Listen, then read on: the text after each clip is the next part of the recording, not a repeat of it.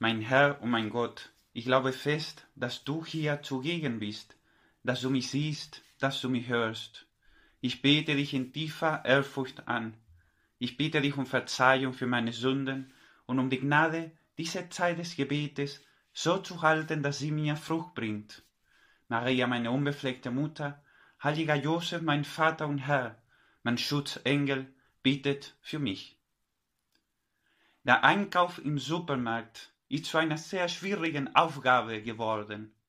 Es gibt so viele Regale mit so verschiedenen Produkten, dass man ständig dazu gezwungen wird, neue Entscheidungen zu treffen. Was soll ich kaufen? Und was ist die beste Option? Wie viel brauche ich davon? Und will ich im Internet kaufen? Dann wird es schwieriger, eine Entscheidung zu treffen. Vor so einem vielfältigen Angebot ist es nur normal, dass man der Versuchung erliegt, etwas zu kaufen, was man eigentlich nicht braucht. Ich könnte die Versuchung nicht widerstehen, es zu kaufen, sagt man dann.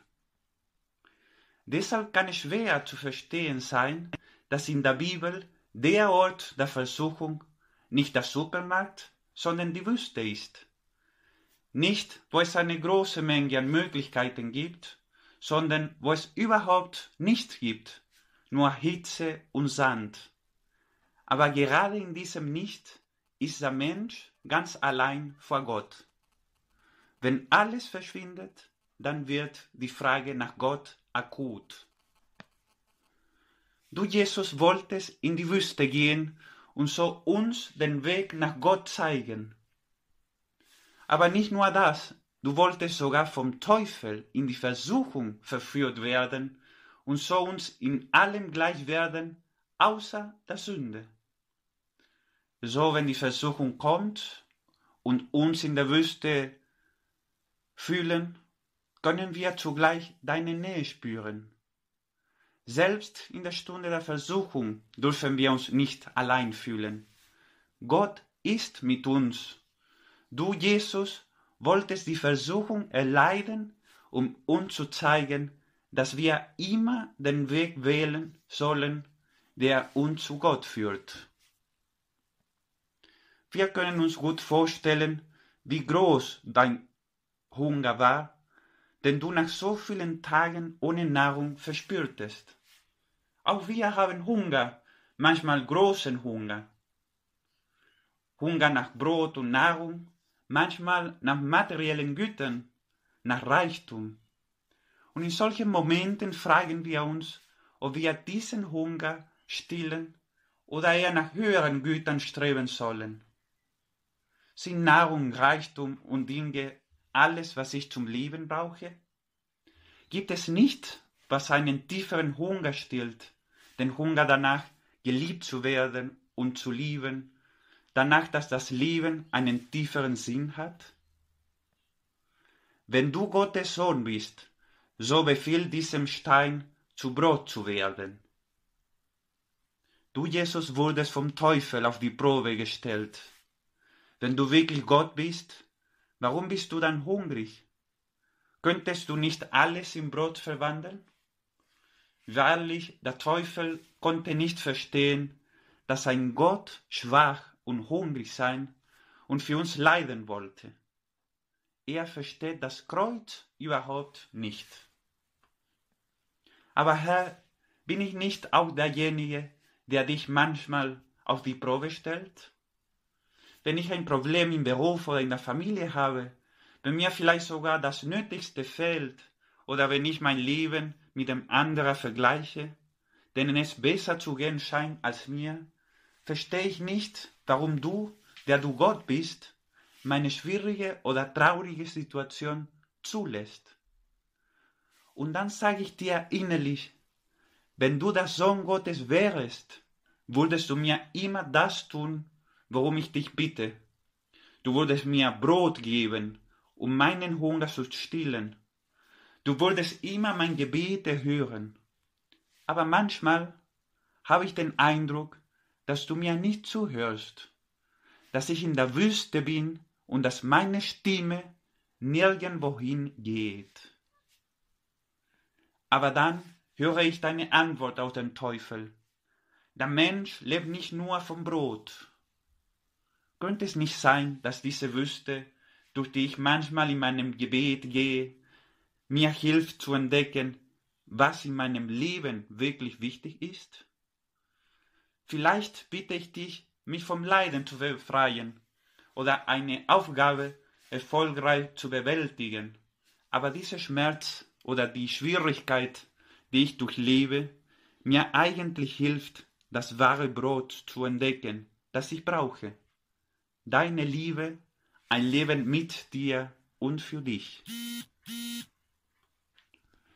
Natürlich will der Herr nicht, dass wir leiden, aber manchmal lassen uns die Wüsten unseres Lebens das wahre Brot entdecken, von dem wir uns ernähren sollten. Kaum hast du, Herr, diese erste Prüfung bestanden, dann kommt der Teufel mit einer neuen Versuchung zu dir. Vom Gipfel eines hohen Berges aus, den Reichtum der Welt betrachtend, sagte zu dir, all die Macht und Herrlichkeit dieser Reiche will ich dir geben, denn sie sind mir überlassen und ich gebe sie, wem ich will. Wenn du dich vor mir niederwirfst und mich anbetest, wird dir alles gehören. Sind diese Worte nicht zu verlockend? Würden wir nicht auch gerne wichtig sein, alle Reichtümer der Welt besitzen? Und ist das, was der Teufel verlangt, eine Kleinigkeit, dass wir einen Moment vor ihm niederknien? Was sagst du, Herr, dazu? Vor dem Herrn, deinen Gott, sollst du dich niederwerfen und ihm allein dienen. In dieser Fastenzeit will der Herr uns genau zeigen, wo unsere wahre Freiheit liegt, in einem Herzen, das Gott liebt und nur lebt, um ihn anzubeten. Es ist also gut, mich zu fragen, was sind die kleinen Götter in meinem Leben, die mich manchmal daran hindern, Gott von ganzem Herzen zu lieben und anzubeten? Herr, hilf mir, von allem zu fasten, was mich von dir fernhält. Möge ich es wagen, dich in der Wüste zu begleiten, damit ich die Schönheit deines Lebens entdecke, das nur auf dich ausgerichtet ist. Schließlich verführt der Teufel den Herrn ein letztes Mal, und er stellte ihn auf das Dach des Tempels in Jerusalem und sagte zu ihm, wenn du Gottes Sohn bist, so stürzt dich von hier hinab. Und es machte ihm klar, dass er viele Engel zur Verfügung hatte, die ihm auf ihn aufpassen sollten. Aber du, Jesus, lässt diese Provokation nicht zu und antwortest ihm ruhig, aber deutlich zugleich. Du sollst den Herrn, deinen Gott, nicht auf die Probe stellen. Wenn der Teufel dich darum bittet, etwas Spektakuläres, Einzigartiges zu tun, reagierst du, Herr, mit Demut. Auch wir wollen manchmal große Dinge tun, einen Rekord aufstellen aber du willst uns in dieser Fastenzeit lehren, dass in der Trockenheit der Wüste oft eine Größe verborgen ist, die wahrhaftiger ist als die vielen Gestalten dieser Welt. Es stimmt, Herr, manchmal verliere ich mich ein wenig bei so vielen Möglichkeiten im Supermarkt oder in den unendlichen Angeboten im Internet. Aber oft fühle ich mich noch verlorener in der Wüste meines Lebens. Deshalb will ich danken, dass du mir den wahren Wert dieser Fastenzeit zeigen willst. In der Wüste kann ich nämlich mit dir allein sein. Auf diese Weise werden wir gemeinsam den Reichtum entdecken, der unter dem Sand der Wüste verborgen ist, den Wert deiner Liebe, deiner Anbetung und deiner wahren Demut.